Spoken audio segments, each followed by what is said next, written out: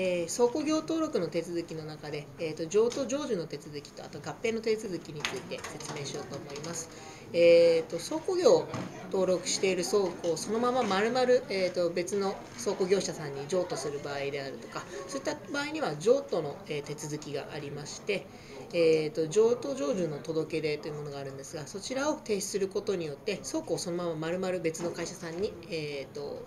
権利を譲ることができます。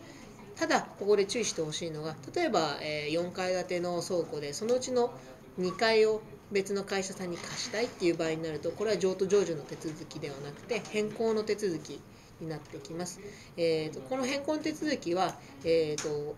渡そうとする倉庫会社さんとあとその倉庫のフロアを譲り受ける倉庫会社さんの2つで行う手続きになってきまして、えーと、渡そうとする会社さんは変更登録になるんですがその受け受け取る側の倉庫会社さんこちらが新規で登録するのかそれとももう既存の倉庫会社さんで変更登録になるのかっていうので、えー、申請の手続きが変わってきます。あと倉庫業者さん同士での合併であったりとかそういうのも合併の手続きっていうのがありますので、えー、と比較的簡易な手続きが、えー、できると思います。何かご不明な点がありましたらお気軽にご相談ください。